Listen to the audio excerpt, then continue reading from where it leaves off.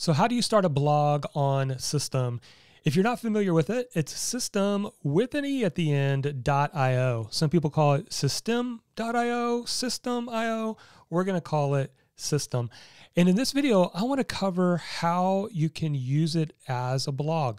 So I'm an old school blogger. My name is Jonathan Milligan, and I'm the founder of Market Your Message and bloggingyourpassion.com. And I'm also the author of the book Your Message Matters. I started a blog way back in 2009. So I have blogged on all kind of platforms, WordPress, Kajabi, and now we have this player system with an e.io and it's free to get started. That's right. You can have a free website, a free blog. You can have up to 2,000 email contacts, I believe three funnels, a digital course that you sell, all on their free plan. And so, if that excites you, there's other videos on this channel that will show you a more fuller overview. And I have a full playlist that you can click on and go dive deep into a system but if you want to grab a free account, there's a link in the description below. So in this video, I'm going to focus primarily on the blog section. So I'm going to jump into one of my accounts. And the first thing you're going to see at the top is it says blog. Let's see if we can make this a little bit bigger. Once we get too big, it goes away, tucks away, but you can see blog. Now, if there's one criticism that I do have, even though I'm a huge fan of Systeme, it is that I think they should rename this website. Website and blog are a little bit different for me. Blog is the blog where you're adding regular blog posts, and the website is the home page, the contact page, the about page, things like that. They use both terminologies in one. So when you go to create a blog, just know that you're creating a website and a blog. So, for example, I've created one here. And if we were to click on this, you'll see that there's post, there's pages, and there's categories. Now, the pages, I want you to think this is where you're going to find the home page. So you can edit the home page. You can make the home page look however you want. You've got an about page, some category pages, a contact page. And if you want to create more website pages, you click on this. Even though it says create a blog page, just know you're creating a website page is what you're creating. Now, this is separate from funnels, which is an entirely different video. You can go watch on my channel on how to set up funnels. Even so, they're better or just as comparable to ClickFunnels, which is really awesome.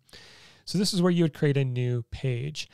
Now, you can click on blog layout now, if you click on blog layout, this is your main blog page. So your blog content is going to show up here. So just know that this is where the blog content is going to show up, but you can change elements like your logo at the top here, your navigation page, if you want a call to action or a build your email list, you want to do some quick links, things down here at the bottom, that is what that's for. Okay, so let's jump back over here. Now, if you want to dive into post, your actual blog post, let's say I want to start blogging, then that's where you're going to come here to post.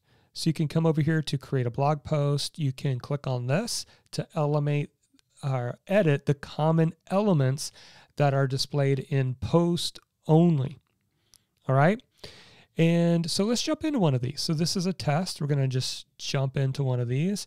And you can see it's very familiar. It's a page builder. So this is where you're going to blog. Now, I would recommend blogging in something else. You can blog in Notion and Evernote and Google Docs. But once you're done, come over here and you can copy and paste your blog post into here. Now let's say, what if I want to add an image? You can do that. So we can find image and let's say we want to put a cool image up here at the top. We've got our image now. We can click on this. Let's add an image file. I'm just going to go see if I got an image here. Let's go with this. And you can also, by clicking on this, which I really love, is you can adjust the size. See, I want the size to be like this. All right. And let's say, man, that's a little bit too close to the image here. How do I fix that? Well, they got you covered. You can find the spacing of your letters. That's not what we want. We want line height. We can create line height, font size, and I believe the margin here's where it is. So I can go here to the margin and make it a little bit better there. So this is where I would put my blog post. Obviously, this is the title, which you can't edit on this page because you're editing that on the other. You can also, you've got your newsletter over here if you want a call to action. And at the bottom, all of these you can see you can adjust, you can edit along the way. So it's very simple. And but there's a couple other things that I think are important. We got elements here. So you can add specific things that you want to a blog post. So if I wanted to add a bulleted list, if I wanted a content box to go right here at the bottom down here, boom, I can create a call out box. I can change the colors, the font. I can change whatever I want to go in here. I can have four columns, three columns, two columns. I can add a table of contents. I can add in forms. I can add in video, audio, social elements, horizontal lines, everything in here. Over here on blocks,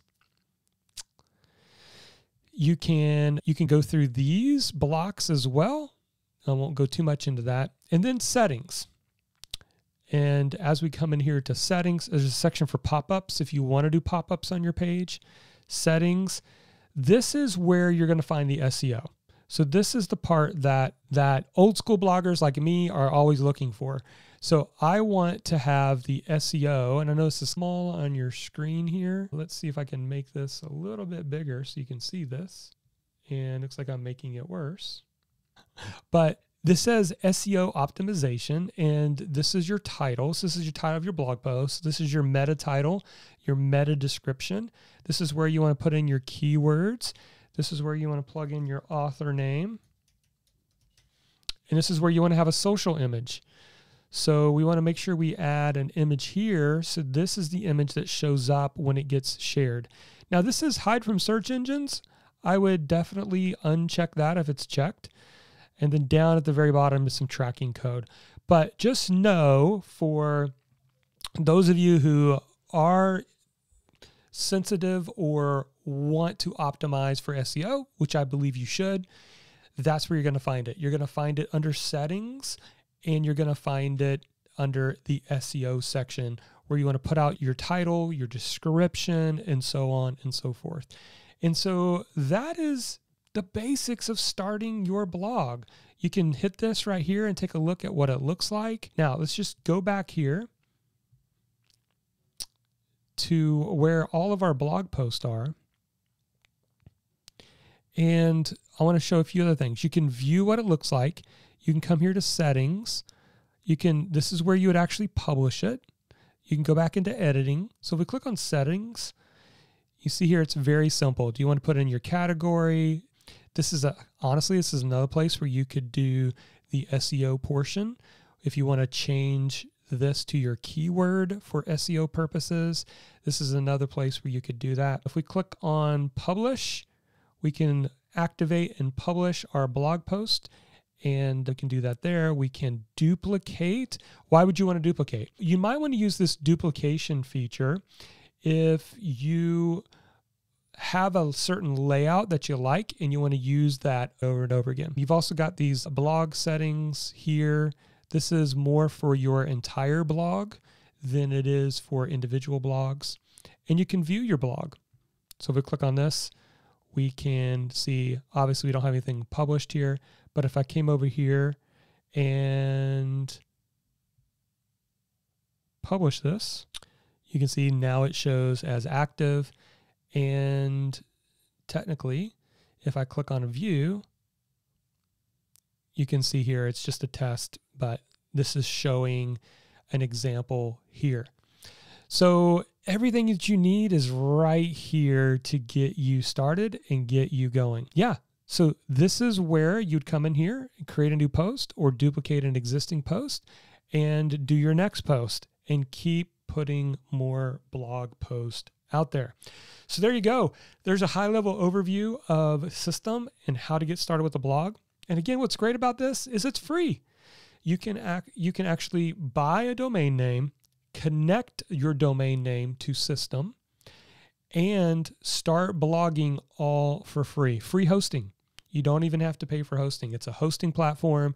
It gives you the free plan gives you up to 2000 email contacts, three funnels, one digital course, as many blog posts I believe as you want to publish and more. If you're interested in that, click on the link down in the description below and go sign up for your free account. And if you decide to upgrade, there are cheaper, affordable options. I believe it goes up to $27. For unlimited everything is $97 a month. But for most people, the free account is a great place to start. Hope this video was helpful. If you like this type of content, hit give us a comment below. And also if you're not subscribed, subscribe to the channel. Hit the bell notification so you're notified anytime we release a new tutorial video. And until next time, never forget your message matters.